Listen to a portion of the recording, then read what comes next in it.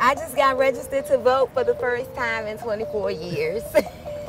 I'm feel excited and I'm happy for all the other felons that are able to vote now because now we have a say so in what goes on.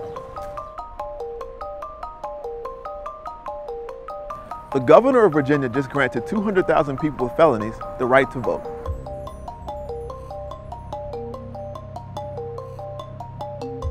Here in the capital of the old Confederacy, it's important to realize that this is a step towards racial justice. All you have to do is fill out lines one through six.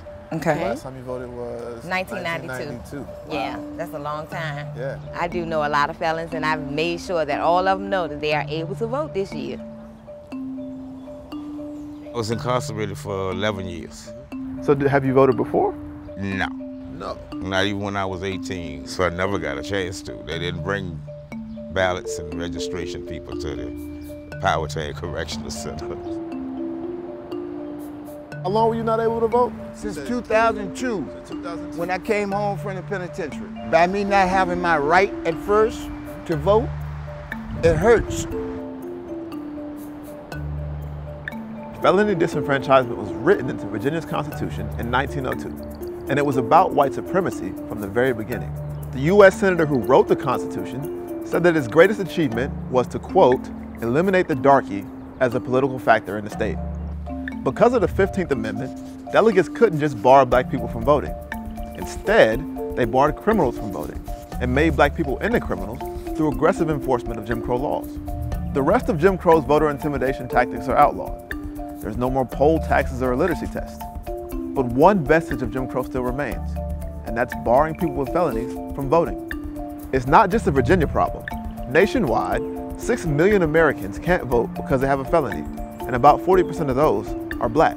About how many people do you register who this is their first time ever? I've registered quite a few that said this was their first time. A lot of them didn't, they didn't believe me. I still get people to say, really? And so when they tell me that, I take this out. Take that out. And then they believe, you know, they'd be like, oh, okay, okay.